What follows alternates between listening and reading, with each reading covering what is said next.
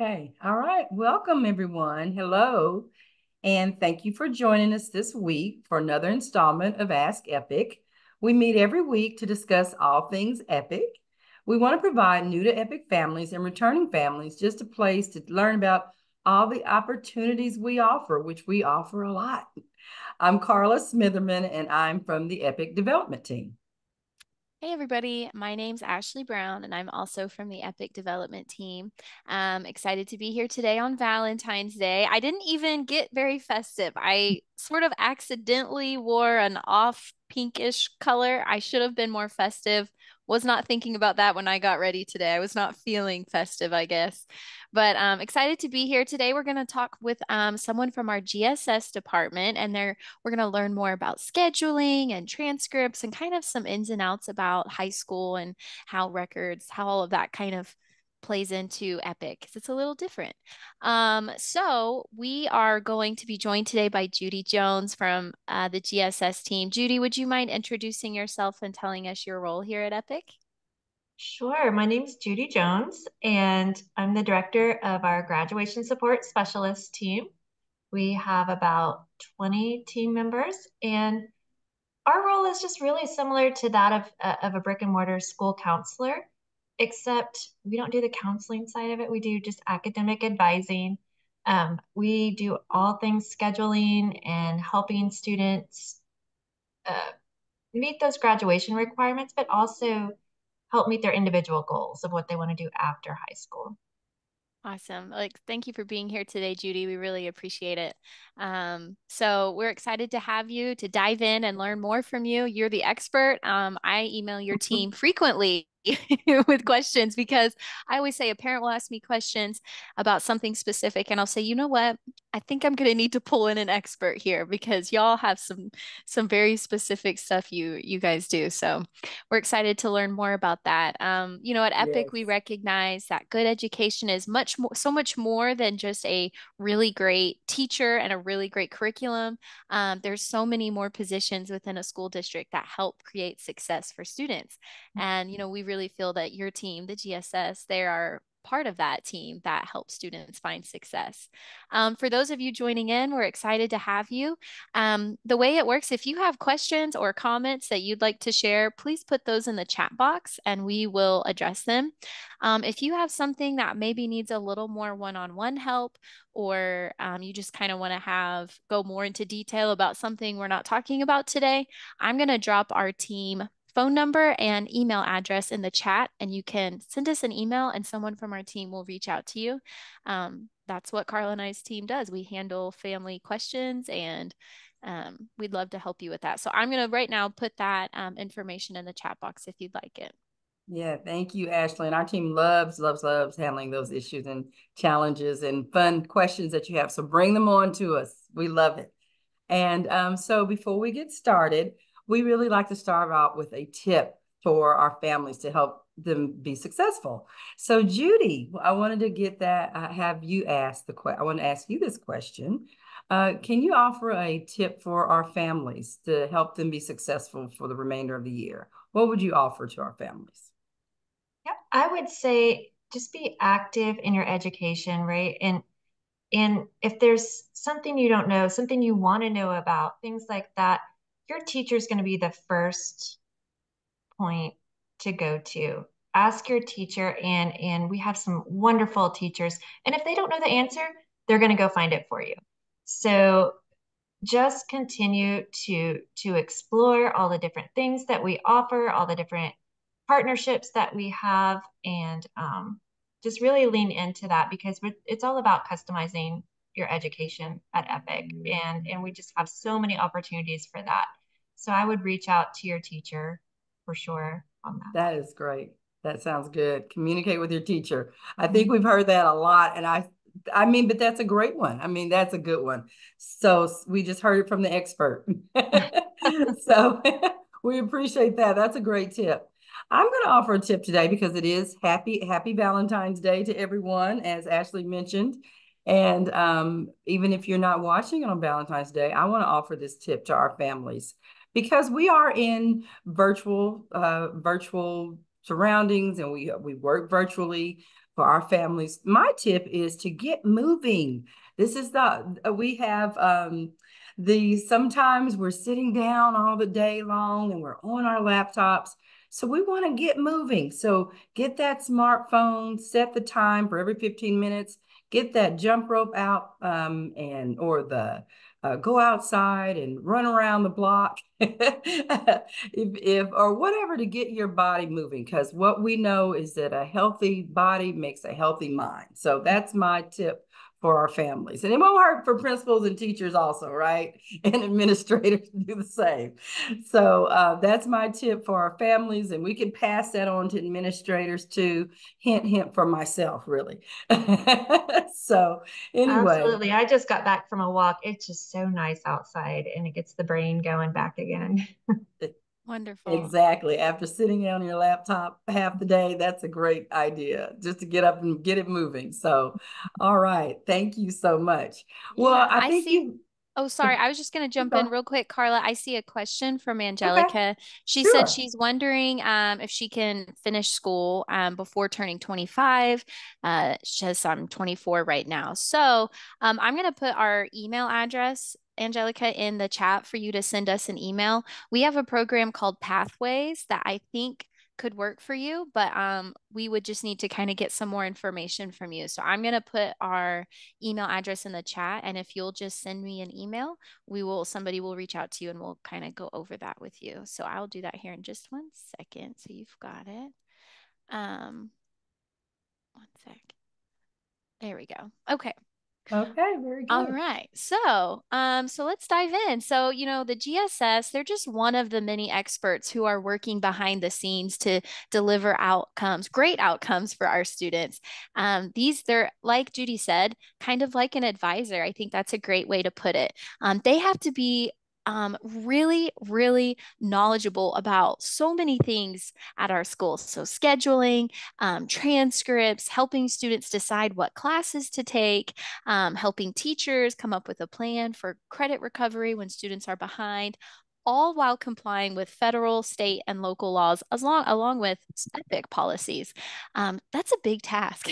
I'm exhausted just reading that.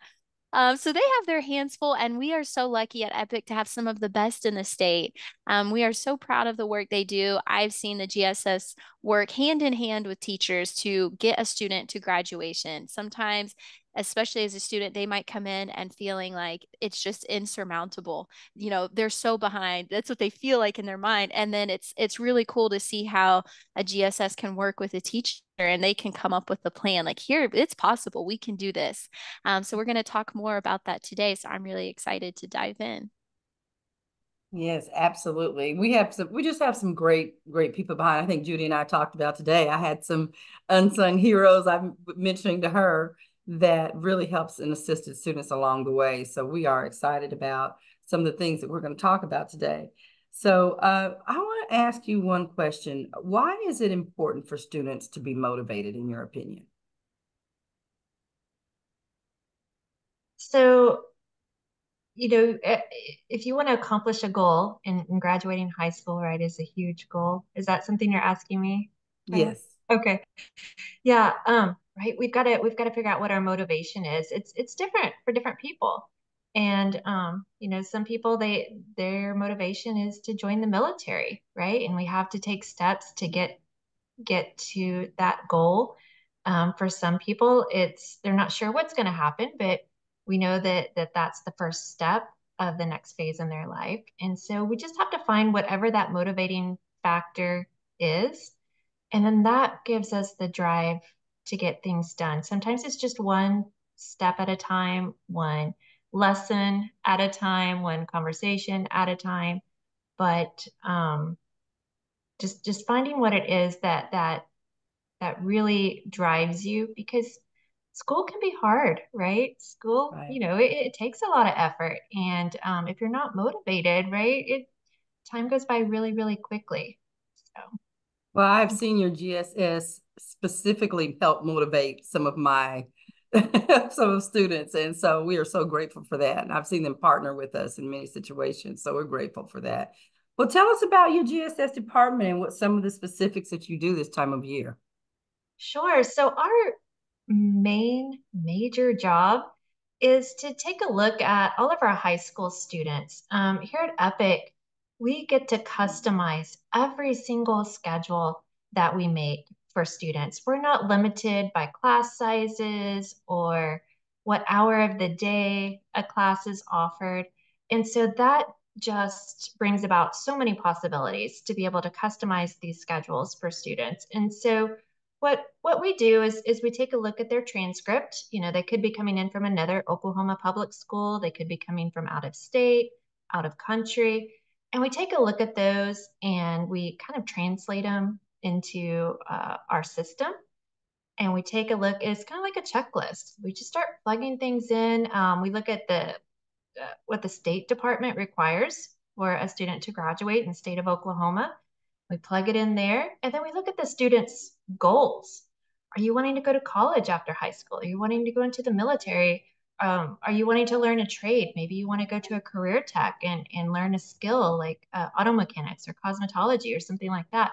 What are your goals? And then we take all of that information and we build a schedule on it. And um, it's really, really great at Epic because we don't have the limitations that, that a lot of brick and mortar schools do. Um, you know, we have students that that maybe want to graduate early. Maybe they want to graduate high school in three years, and we can do that.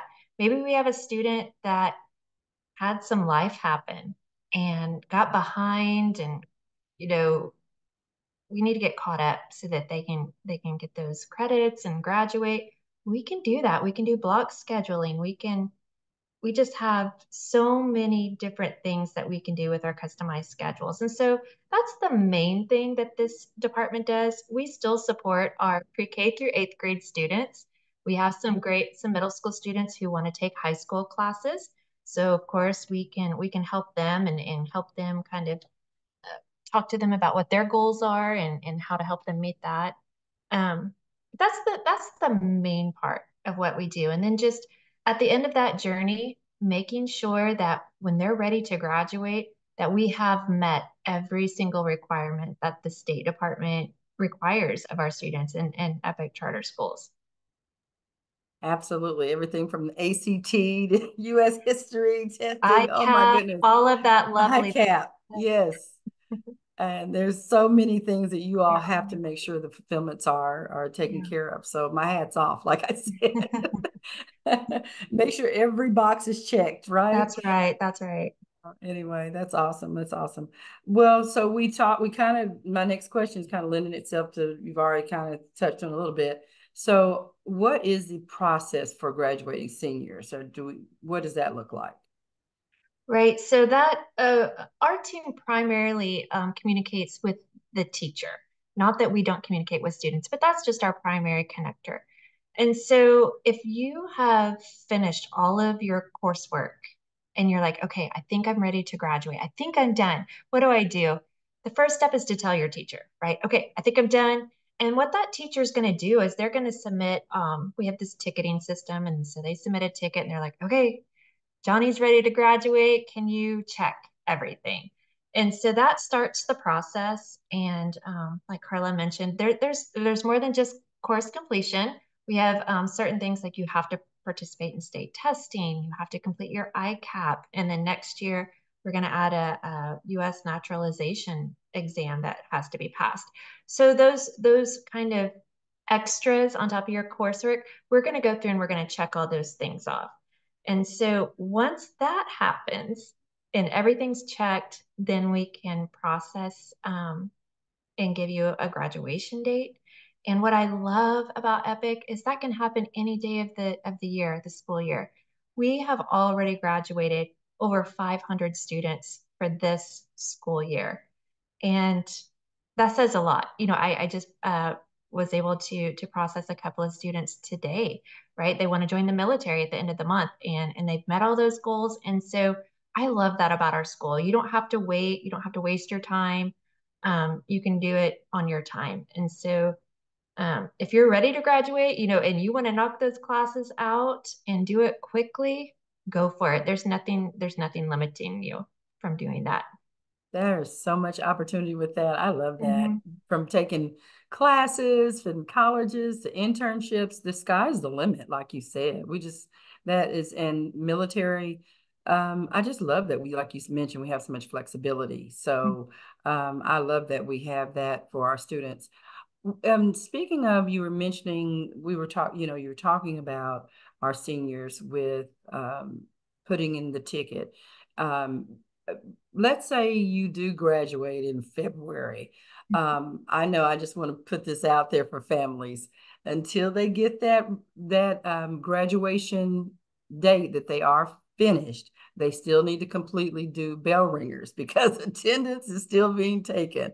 I just have to throw that out there because I know sometimes um, I have talked to families and they're like, "I'm done." Well, yeah, but yeah, that's it. That's a really great point. You know, we since we don't meet in person every single day to, to get attendance, we have to do different things to count for attendance. And sometimes that's bell ringer. So you may be done with your coursework, but we're just waiting to complete the ICAP or looking at state testing. And so to stay enrolled and to avoid, you know, getting withdrawn for truancy, and you, you don't want that because you're, you know, you're done with all your coursework.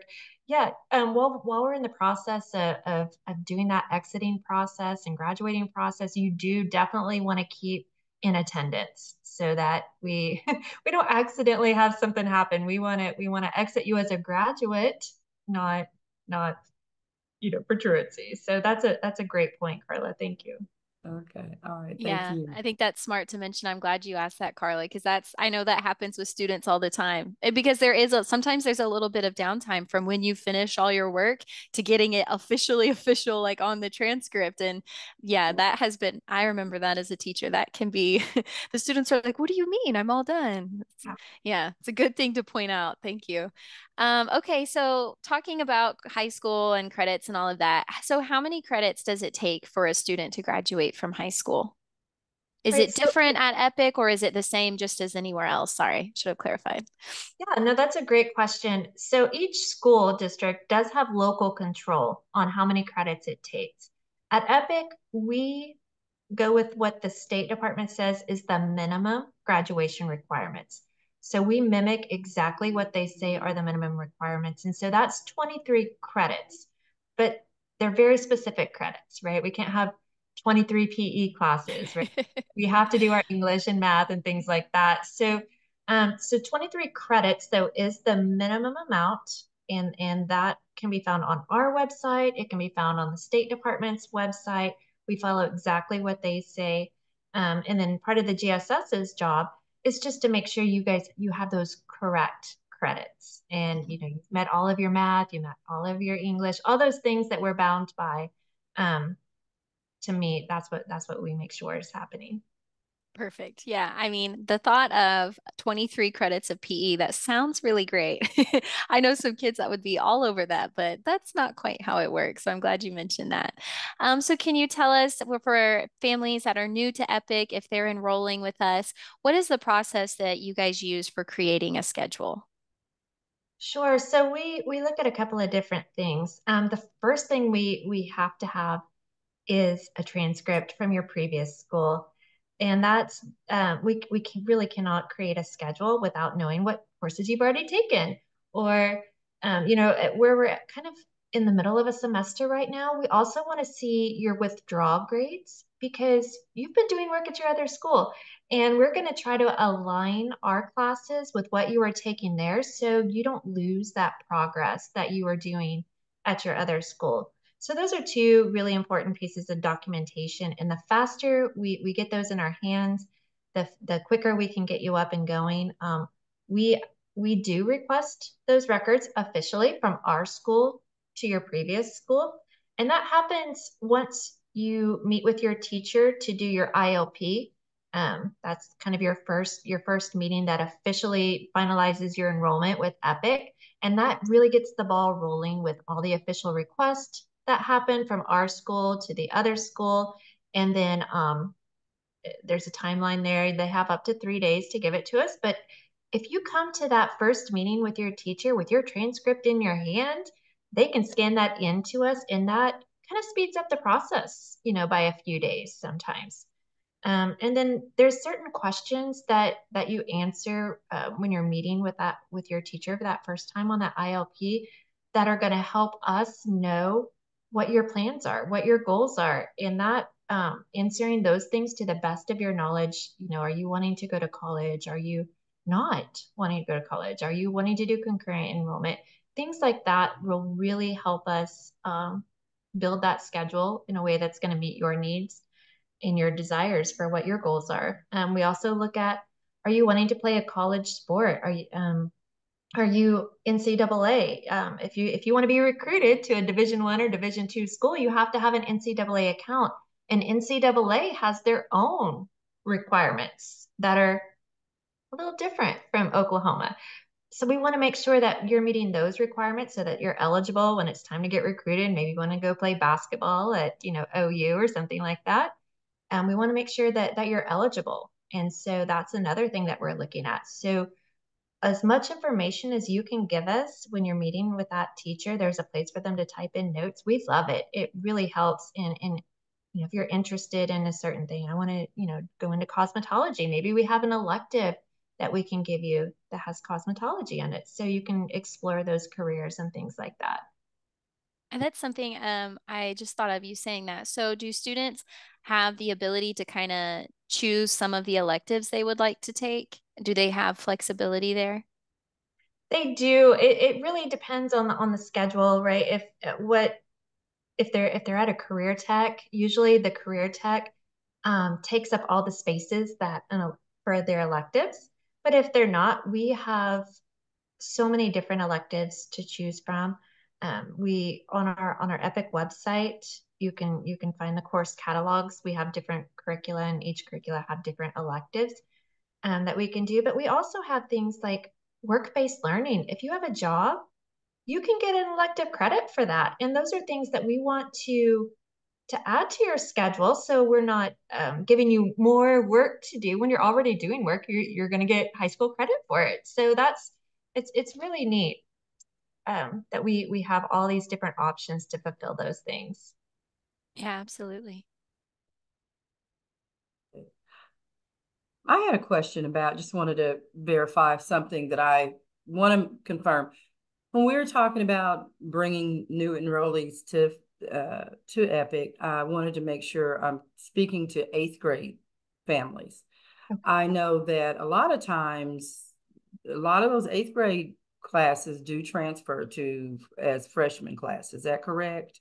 In other words, if they take algebra eighth grade, is that correct? Because I've had some questions about that over the years. I just want to make sure, Judy, you tell me if that's correct or not. I see the smile. I'm not sure. Yeah, it's, it is. It. Uh, I'm glad you spoke to that because a lot of a lot of students have the opportunity to take high school credits, high school courses while they're in middle school. Um, some schools as early as sixth grade. It's most common in eighth grade, and some there's a few in the middle they're in seventh grade. And so any high school credit you've earned at whatever grade level, as long as you took it at an accredited school, we're going to accept those credits. And so you want to make sure if you're coming in and you know that you've taken a high school class that, that we get that transcript so we can give you credit for it.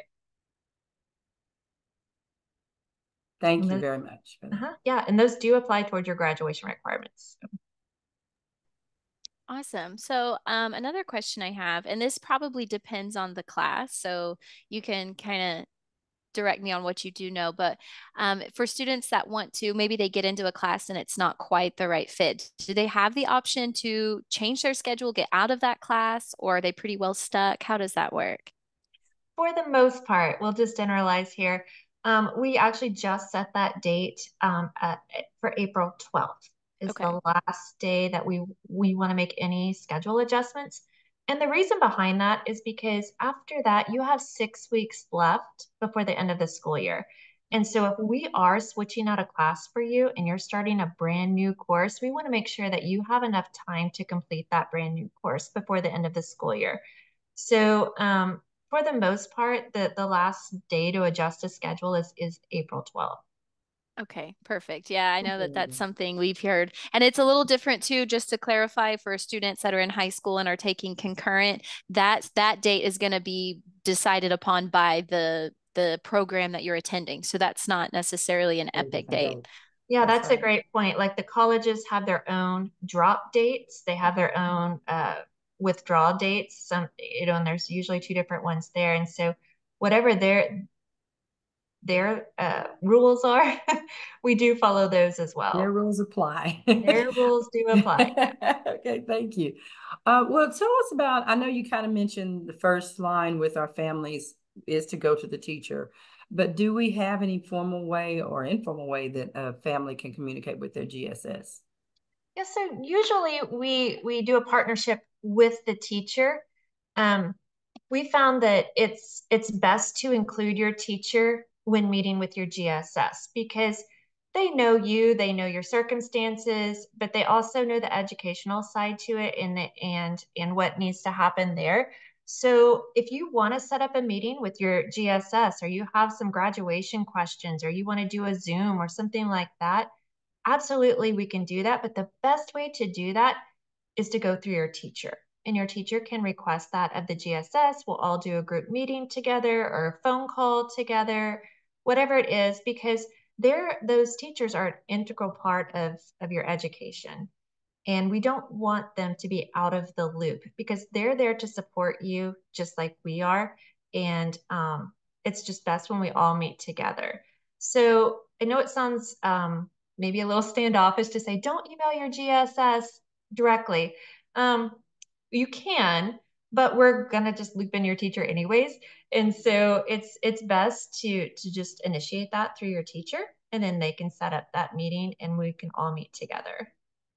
I love that you brought that up. I think as at Epic, especially because we're a virtual school, it's really easy for everybody to kind of be doing their own thing. Um, mm-hmm. Um, but ultimately, what's best for that student is for all of us to work as a team. And so when the teacher is working with the GSS or maybe a counselor or the college and career advisor, that's when you're going to have everybody can work together and do what's best for that student that's a much better option than you having separate conversations with each of these and it's a lot easier for the student and the caregiver right? So yeah. um, and, I, and i like what she said about the teacher knows everything about that student at the moment and and the gss can is going to be able to you're going to be able to communicate everything about that student with the gss so i i love exactly what you just said. That's great. Yes um, okay, so what are some of the ways, and you kind of touched on this a little bit, but could you tell me more about how the GSS team helps with post-secondary planning, for example, going into the military or going into college? How do you guys handle that? So there's some um, base knowledge, I guess you want to say that that that we have for those different paths after high school, and we we do ask those questions on the ILP and and I just want to say you're not locked into those, right? Like life happens, people change their minds. We can we can change those paths at any time, um, again through your teacher. But if we know that you are wanting to go to a college after high school, um, the best route is to be on that college prep plan, right? The, the, the colleges prefer certain courses to be taken to help better prepare you for college. And so when we know that you that that's your goal, then we're going to schedule you in certain courses that help prepare you for that college path. And the same thing goes if you're not wanting to go to college. Um, we often have people, I think, kind of, I don't know if the words freak out or panic or something like that, but they're like, well, if I choose the non college path, does that mean I can never go to college? And the answer is like, no, no, no. You can go to college, uh, you know, at, at any point in time, depending on, you know, the college re- entry requirements. And if you choose the non-college path in high school, the only thing that may happen when you enroll at the college, you might have to take some remedial courses, maybe in math. Maybe you didn't take that higher level math in high school that would have prepared you for college math. So you might have to take a remedial math class at the college, but you still get to go to college. So just making that selection and then changing your mind later, you're not locked in to anything. It's just certain courses in high school do better prepare you for those those different situations afterwards. Um, you know, I know it seems like math always always seems to be the topic of conversation that that is the deciding factor sometimes. Um, especially we get to algebra two usually as a junior, and um, that's hard, and it's hard online, you know.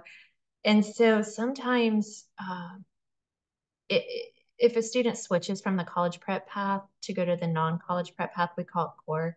Um, we can switch out Algebra 2 for a less rigorous math course. Um, usually it's Math of Finance. And that's okay. You know, we have that option, and I love having that option because I, I don't know about you guys, but I like to ask questions, and I can't imagine trying to learn online. I'm the girl who has to go into the classroom, raise my hand, you know, and, and interact. And and maybe that for you is later on when you go to college, and and you're going to take that Algebra 2 kind of equivalent course at the college, and that's okay. Um, you you can still go and do that. It just, um, you know, we're just looking at the at the high school requirements.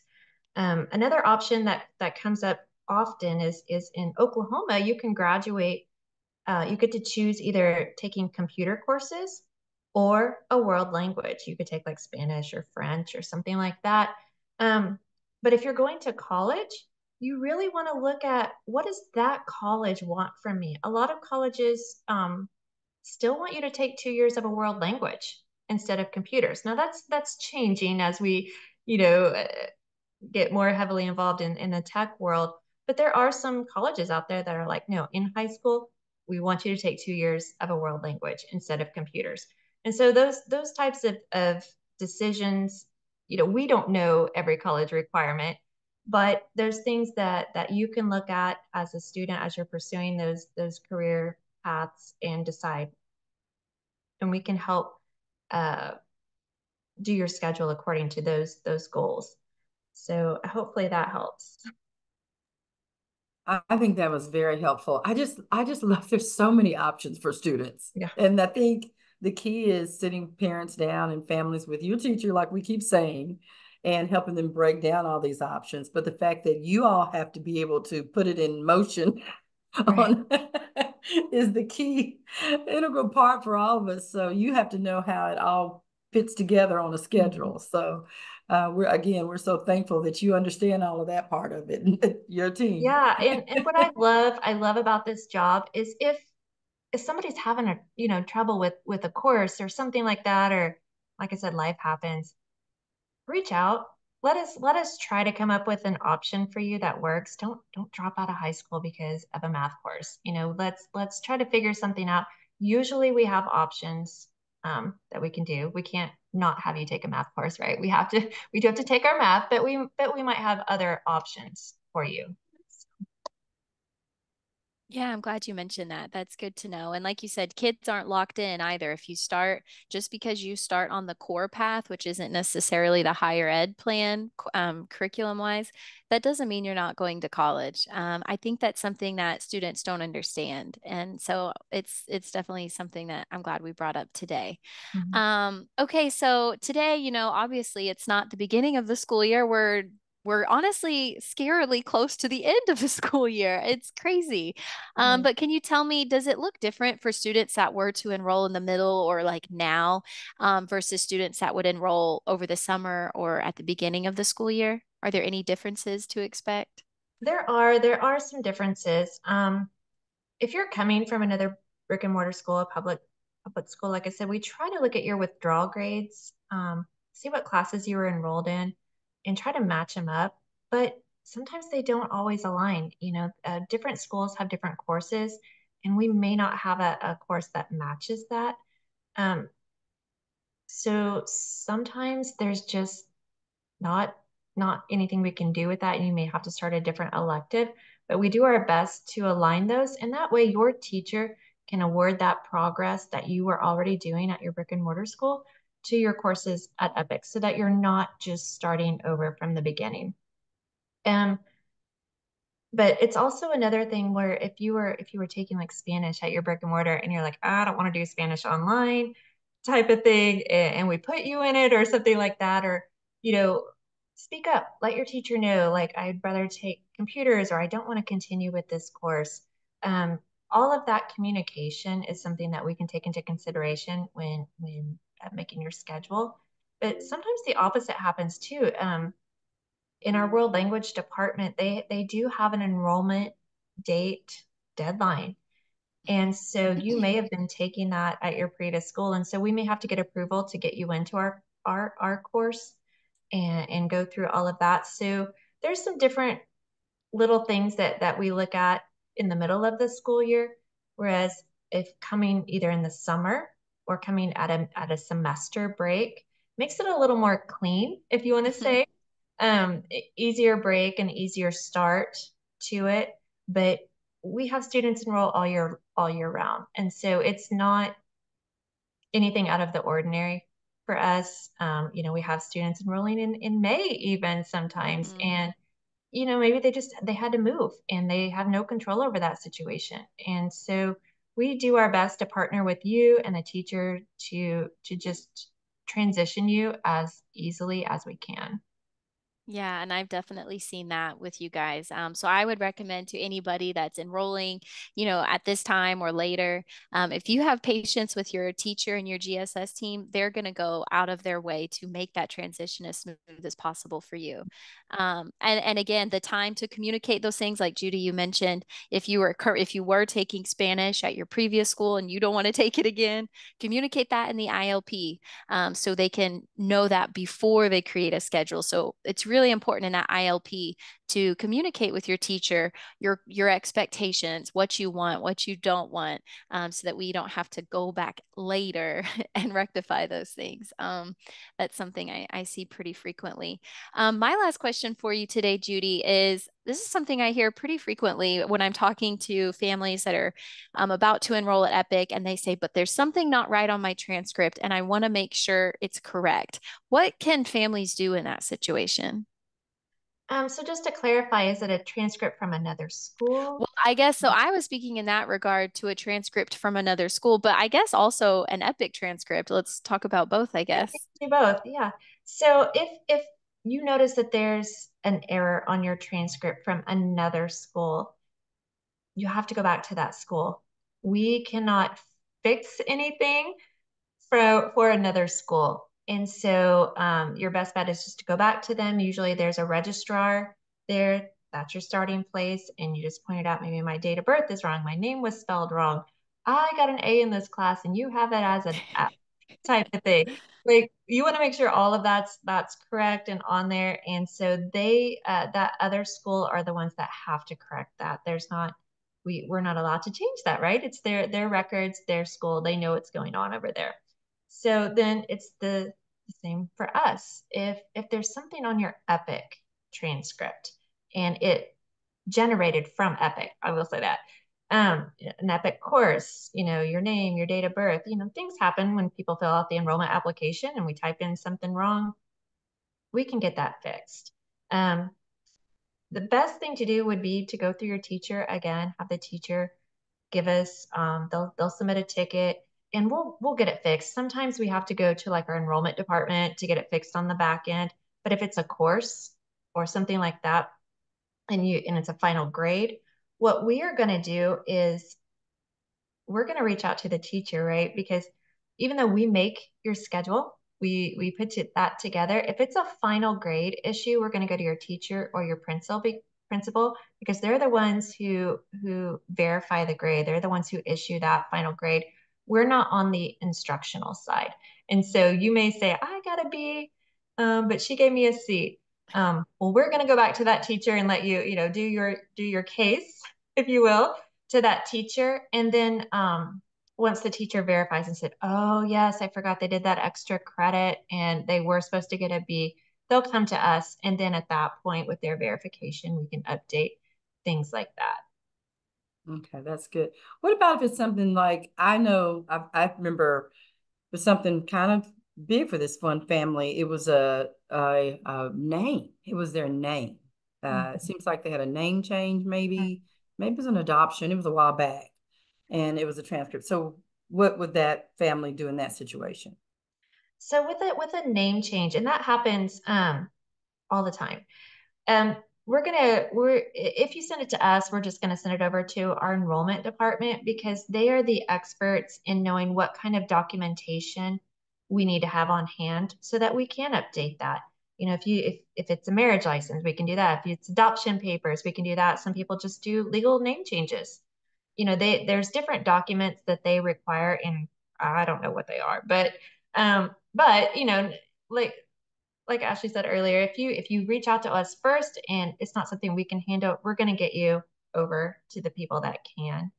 Um, because name name changes do happen more commonly than I thought before I started working at at, Epic for just different reasons. So. Yeah, very good. Okay. Well, we just thank you so much for all your unwavering dedication and commitment. Your team does such a great job, and we have so much respect for you all. I told you before we even started today some of the specific examples that I've seen. And I think Ashley mentioned to you, our team relies on you heavily. So thank you so much for your commitment to excellence. So, is there anything else you can share with us today that might help us out? Um, any last words of knowledge or nuggets for us?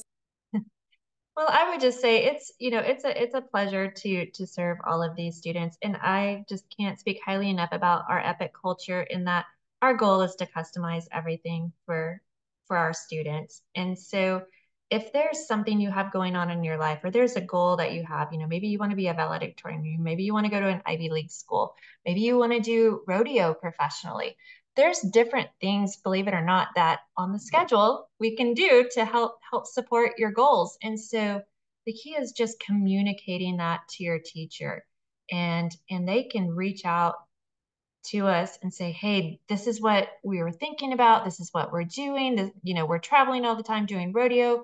Can we get a high school credit for that? Just asking questions like that um, we we often often can say yes. And if we can't say yes we usually have an alternate. You know, we can't do this, but what if we did this? type of thing? And so, um, what I, the other thing that we, I didn't, we didn't mention earlier, but I do want to kind of put a plug in there is our school has created something called these virtual internships. And coming in at the beginning of a semester or the beginning of a school year, they have these internships, which normally you would have to like go to a hospital to do an internship there or go to, you know, work with a plumber to do an internship there. We have virtual internships. And what a great opportunity to be able to virtually learn about nursing, virtually learn about being a veterinarian, something like that, where um, you can really explore that career and decide if that's something that that you want to get into, or maybe you start it and you're like, this isn't what I thought it was going to be and, and change your mind. Um, but if you if you're a junior or a senior coming in, um, ask your teacher about those because those are some really unique opportunities that Epic offers our students that are not really available that I know of uh, anywhere else. I think that's my last plug. no, good. I'm glad you brought I that know. up. That's Thank great. you. yeah, That's I think the wonderful. the internships are such a great opportunity for students. Um, and Mhm. even within Epic, we have some really cool ones. Just about every department at Epic offers at least a couple internship positions. Um, I don't know. That's pretty amazing if you ask me, because a lot of times internships are hard to get. Um, but Epic really wants to place everybody. Everybody that wants an internship, we really want to see those students get a placement. And so um, just about anything you want to go into, you could find. But we Mhm. thank you so much, Judy, for being here. You you're a wealth of knowledge. Your team does so many great things for our students, and we're really happy to be able to partner with you.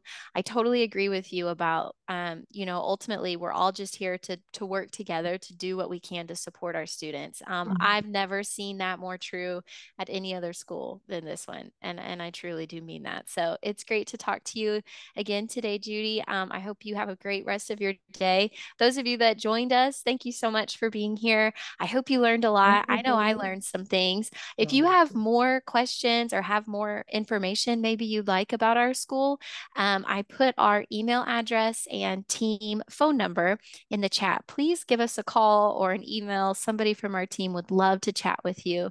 Um, that's what we're here for is to support families and give them um, the information they need to make the best choice for their students. So thanks again, everybody, for joining us today and come back next time for Ask Epic. Bye, everybody. Bye.